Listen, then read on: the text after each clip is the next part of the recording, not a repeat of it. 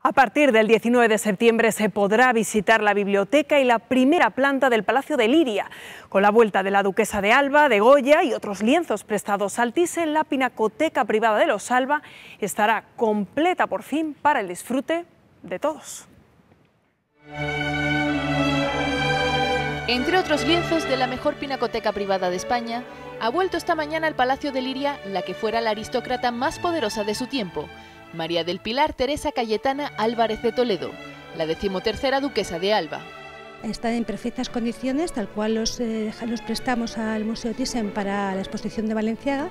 La musa inmortalizada por Goya en 1975 es una obra excepcional. Lo más interesante es que este cuadro está en el estado original, o sea, tal y como lo dejó Goya. No ha habido restauraciones posteriores, solo limpiezas muy superficiales.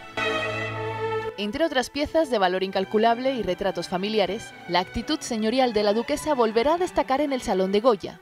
Y no solo para los contados visitantes que aguardaban años su turno en las listas de espera, sino todas las semanas y para todos los públicos. Se podrá visitar toda la primera planta y sobre todo la biblioteca. A partir del 19 de septiembre.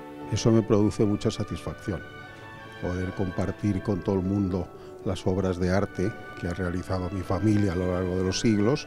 600 años de mecenazgo y coleccionismo al alcance de todos los madrileños.